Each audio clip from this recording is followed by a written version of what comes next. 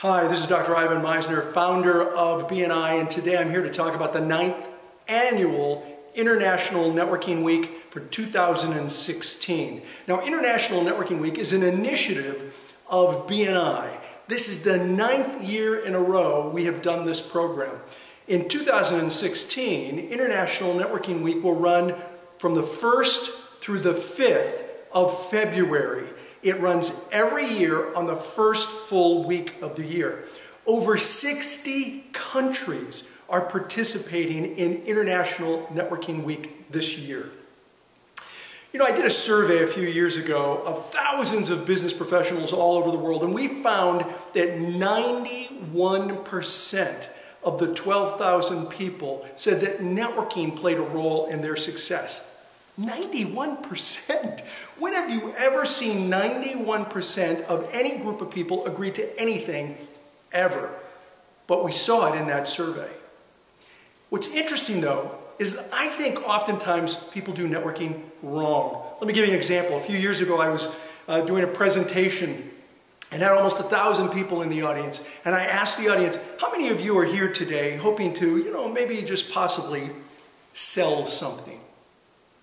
1,000 people raised their hands. I said, great, thanks. Second question, how many of you are here today hoping to, you know, maybe just possibly buy something? No one raised their hand. Not one single person. This is what I call the networking disconnect. People show up at networking events wanting to sell, but nobody is there to buy. Why does that happen? I believe that happens because we don't teach people how to network in colleges and universities anywhere in the world. We don't teach networking. And that, ladies and gentlemen, is why International Networking Week is so important. It's about taking time to learn how to network effectively. So if you're going to participate in International Networking Week for 2016, here's what I'm asking you to do. Invite a young business professional, a young adult in business to one of your networking events.